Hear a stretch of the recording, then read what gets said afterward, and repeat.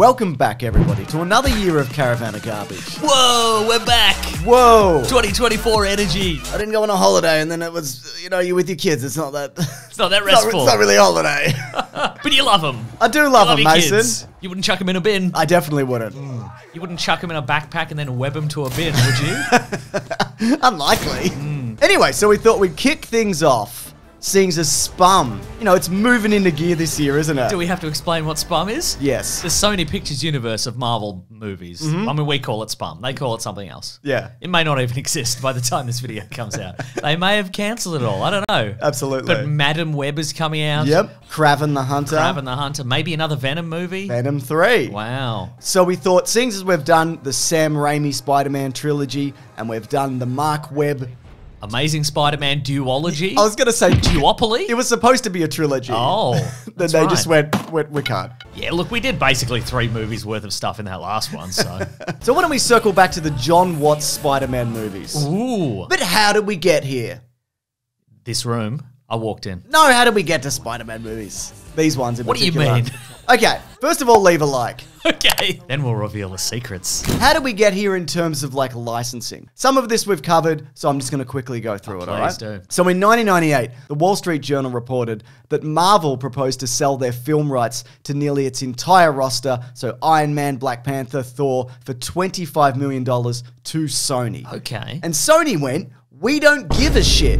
We'll take Spider Man for $7 million, and that's it. And this back in the day, this is the era where Marvel was going bankrupt every other week. And Yeah. so they're like, we'll take that deal. We'll take mhm. whatever terrible deal any film studio is offering. Now, it's easy in hindsight to say, sure, this franchise is worth now X number of billion dollars. Mm. But Sony couldn't have built this anyway. If they had all of these properties, The MCU, no, absolutely not. No. not a chance. So we got the Sam Raimi trilogy, and then they rebooted with the Mark Webb duopoly. And Marvel came to them and proposed an idea. Let's get married.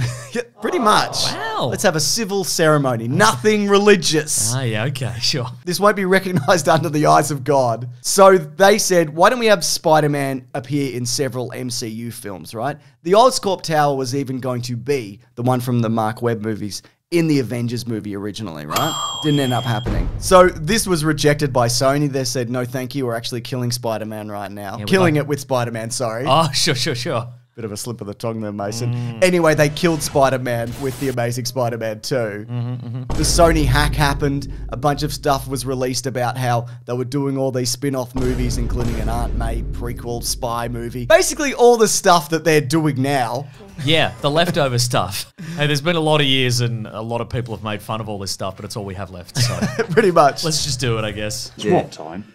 It's Morbin time. Apparently, it's a it's a meme, isn't it? It, it's So a new deal was formed where Marvel would collect 5% of the gross of all the MCU produced Spider Man films. Only 5%. Well, that was the original deal. It changed again a few years back.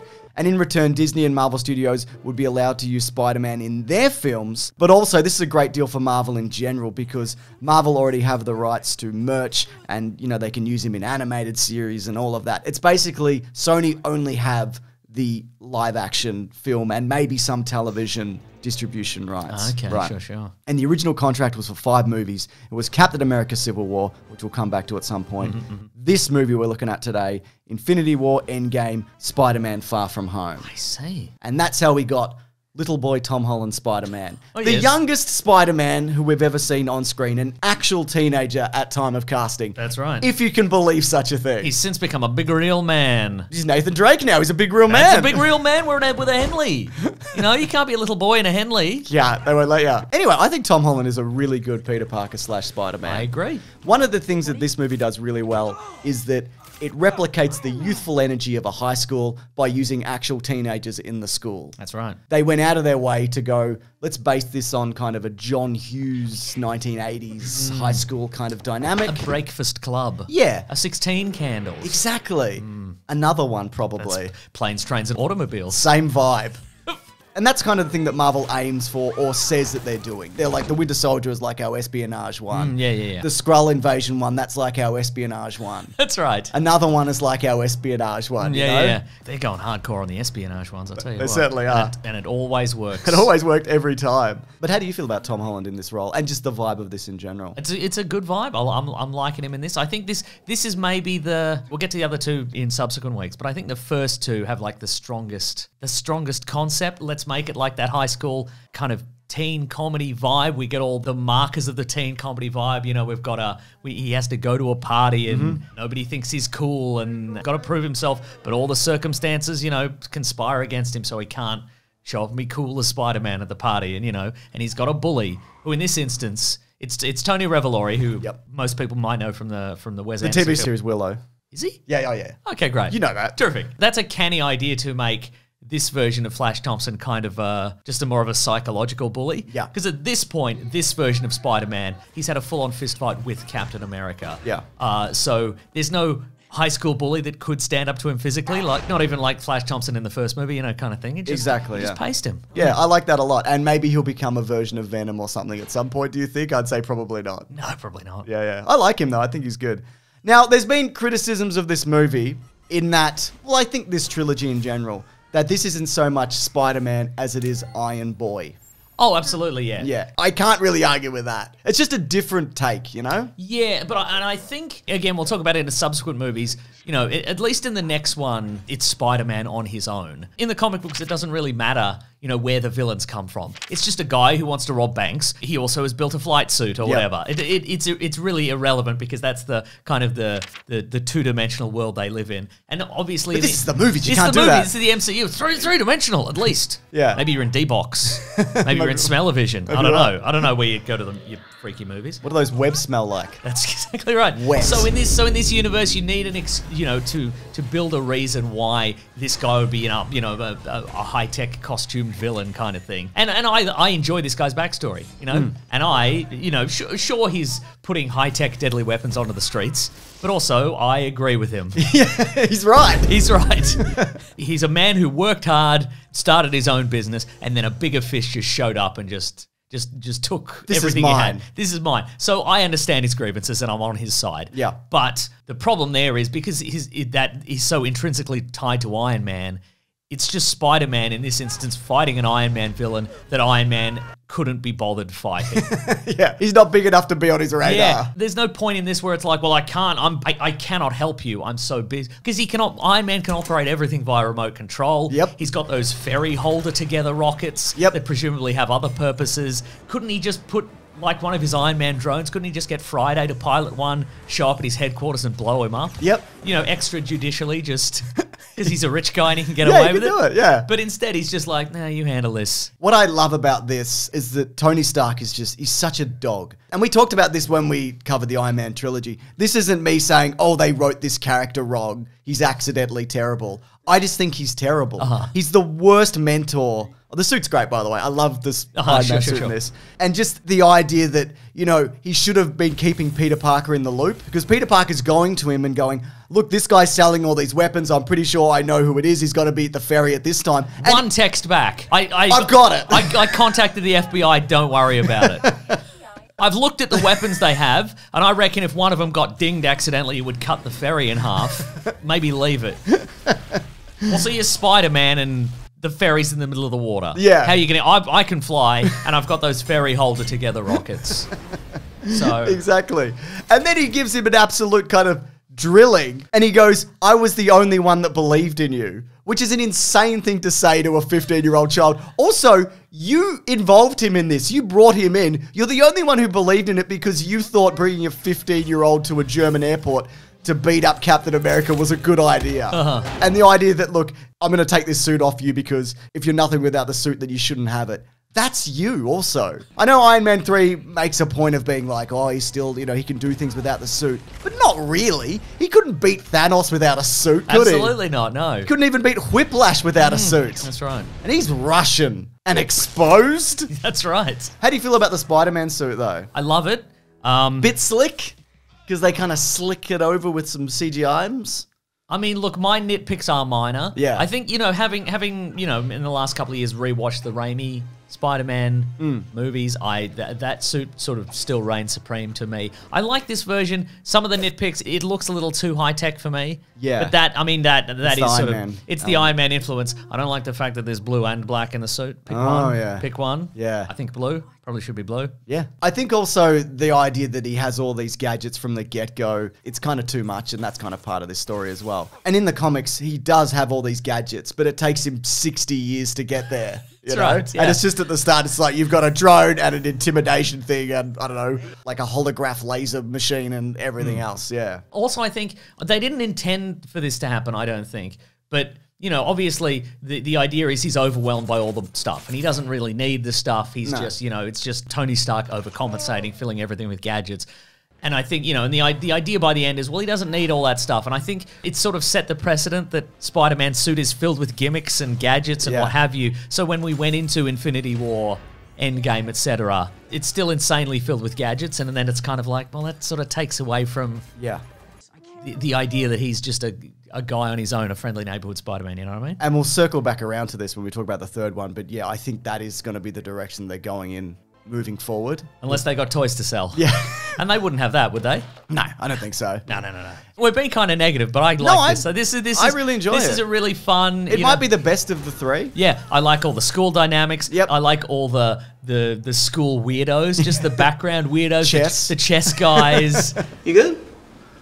Chess. the academic decathlon Yep. guys, all the weirdos. I enjoy Zendaya just being in most scenes in the background doing weird stuff. I think also Michael Keaton is just really terrific in I this. agree, yeah. Mhm. And I love this version of the Vulture being a terrifying metal nightmare. Mm-hmm. I enjoy the Spider-Man villains the most that aren't just him. Yes, like a uh-huh. variation on, and yeah, Venom, Carnage, whatever. But an idea that this thing, whatever it is, and I feel the same about Doc Ock, it can counter all the things that he does in a way that's, you know, he's not entirely used to. Mm-hmm. He can't fight a giant flying bird, man. That's difficult and weird. I mean, he does. He does. It's true. But it takes him a few goes, you know? That's right, exactly. And what I, I like about this is there is that personal animus. You know, people Yeah. people when people are always going to be like, when is when is Tom Holland Spider Man going to fight Tom Hardy Venom? It doesn't matter because they've got no connection whatsoever. Whereas in the comic books, Venom's entire origin and his entire reason for being is an intense hatred of Spider Man because of their shared history. Whereas if they ever appear in a movie together, they'll have to make something up, I guess. Yeah. But in this, it's like these two have a complicated relationship. Spider Man is constantly foiling the Vulture's schemes, and so the Vulture is furious about that. Mm. But he also has, you know, a family that he loves, and that's why he's doing it. He's not just doing it for like cackling villainous reasons. But then Spider Man saves his daughter's life, and he learns, and then he's he's like, "Well, I'll give you one chance to walk away." I'm Yeah. like, "That's that's interesting. That's good stuff." It's complicated. yeah, yeah. I mean, it's a shame now that he's trapped in a parallel universe With Morbius. with Morbius and infinite distance from the family that he loves and he'll do anything for. and he's just like, well, better form a supervillain team, I guess, of good guys. I don't know. My family can sort themselves out, I guess. I don't know. And I guess he built the vulture suit over there again, didn't he? Maybe. Or there was a vulture there already and he just took it. I don't know. Yeah. Yeah. He found it in the he found it in the vault. He found it in the Oscorp Vault Oh, Origins. yeah. That's You remember that? The action sequences I enjoy in this, we mentioned the ferry, the punch up that they have at the end. I think the swinging isn't great. I think that's also to do with the locations. It's not a big inner city situation. You Sure, know, you're uh-huh. not getting those big New York skyscraper kind of moments. But we did get a moment which I really enjoyed, which is the moment where he has to navigate his way through the suburbs. I thought that was Yeah. a fun little, you know, and I, and I think that also speaks to the kind of the John Hughesness of it, just like these these these kind of comfortable little cozy suburbs. Mm. And how does a we we finally learn how a Spider-Man navigates through those, which is he has to just do a lot of running because there's nothing Crashing to through onto. fences That's a bit of fun, right? yeah, no, it is. It's very, and you actually see this moment in this Ferris Bueller running home to his, Hmm. you know, after to his family or whatever going on. what we do get, I think, is we get we get moments that are spectacular. You know, there's the part where he kind of leaps off. Is it the Washington Monument? He Yeah, leaps off yeah. the monument. We see it from all the great angles and etc. But I think I think the problem with this movie and maybe a lot of modern Marvel movies is that it's it's it's sort of it's sort of workman-like direction. Yeah. it's like we need a couple of spectacular moments for the trailer. Just get that was there. in the trailer just to get us there. Yeah. and and the rest can be just fine. Yeah. Really, you know. Absolutely. We don't have time. we don't have time. We've got to do. We've got to film most of this, and then we've got to give it to the VFX guys. Yeah. they can figure it out. Exactly. Uh, just a few fun little cameos or appearances that I enjoy. Hannibal Buress is great, a lot of fun. Where he's like Captain America, he's, I think he's a war criminal now, but I guess we're still using this VHS or whatever. Uh, Martin Starr as Roger Harrington. Is that his name? Yep, he returns from the Incredible Hulk. Uh-huh, sure, Same sure, sure. character. Jennifer Connelly, who's married to Paul Bettany, the voice of Jarvis, is the voice of Spider-Man suit in this. Oh, There you go. So maybe those AIs can get married. No, they can't. He's already married. Wow. Jarvis is already married. Wow. Uh, Donald Glover, great. Mm-hmm. He turns up in another universe. a, a setup to maybe make him the Prowler, except not really. Who knows? Well, he knows is in the Spider Verse universe, if it's the same guy. And of course, Chris Evans is mentioned in his fun little cameos. yes. So, should we do some trivia? Let's do some trivia. Specifically, Spider Man trivia coming. That's what we're calling it. Great. That's what you said you wanted to call it. I know. And that's what we're going to call it. Great. Because it sounds a bit weird and rude. It does. So, for the Lego Death Star that they're building, they say that it has 3,803 pieces, which is correct. Uh-huh. But the Emperor figure that they have is from the 2016 version, and the 3,803 piece version is from the 2008 version of the Death Star. Now that's some trivia. Yeah. Now here's a question I have for you. In MCU Spider-Man's first appearance Yeah. in Captain America Civil War, he lassos Ant-Man, AT-AT walkers on Hoth style. Yeah. Mm. And he says he saw it in some old movie. And he doesn't really remember, right? But in this movie, he's very excited for Star Wars Lego Death Star. So in the subsequent like couple of years, did he get really into Star Wars and learn everything about. Star Wars? Was Star Wars not hugely popular in the MCU on account of all the superheroes taking the limelight? Light and maybe it's had a resurgence Maybe, yeah. since then, maybe? Maybe what I think happened is it's only a few months in between, by the way. Or do you think it's maybe that Disney bought Marvel and they also own Star Wars and they wanted a little synergy? I don't think it's that. Oh, okay. I think that maybe he hasn't seen Empire Strikes Back because this is the Return of the Jedi Death Star. So, that's so he's why he only seen Return of the Jedi and he's so jazzed. Wow. Uh, Kenneth Choi, who plays Principal Morita, also played the Howling Commando Jim Morita in Captain America the First Avenger. You can actually see the photo of that Howling Commando member on his desk because it's his grandson. That's nice. Yeah. That's cool. According to James Gunn, Stan Lee's cameo in this film was one of the four Lee cameos filmed in one day, alongside his appearance in Doctor Strange, Guardians of the Galaxy, Volume 2, and another one. Huh. Maybe a Thor movie, I don't know. and Gwyneth Paltrow, who appears in this movie, she thought that she was shooting a scene for the Avengers, and it wasn't until a few years later that she found out that she was in this film. I don't know if you've seen that interview. I have, yeah. Yeah. Remember Spider-Man at the end, and and the and and Tom Holland's there, and you're gonna walk out and do a press conference. And I give you the Oh, ring. yes. That was Spider-Man. That was Spider Man? I don't think she knows if she's in any of these movies, honestly. Yeah. Uh, but I do enjoy that where people go and they ask her, like, what do you think of this? And she's like, uh, yeah. Did I? What it- is it?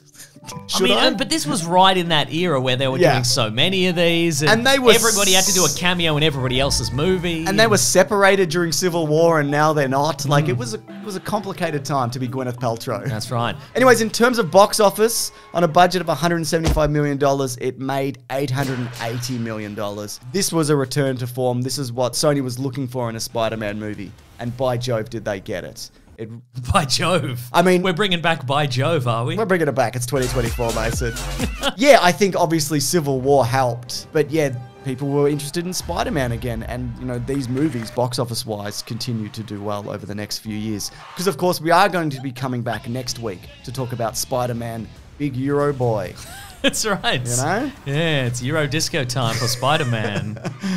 If you do want to see that early, you can actually head over to bigsandwich.co. That's like our private Patreon, isn't it, Mason? yes. It's true. 2024, it's true.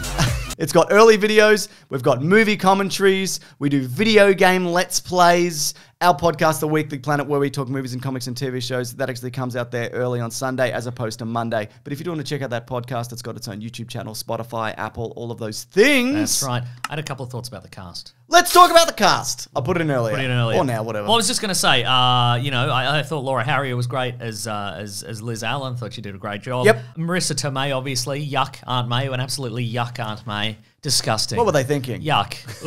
Ugh. I mean, we know Aunt May's supposed to be an old hag. Yeah. But you didn't have to go as far as you did. You don't need to lead into it this hard. God.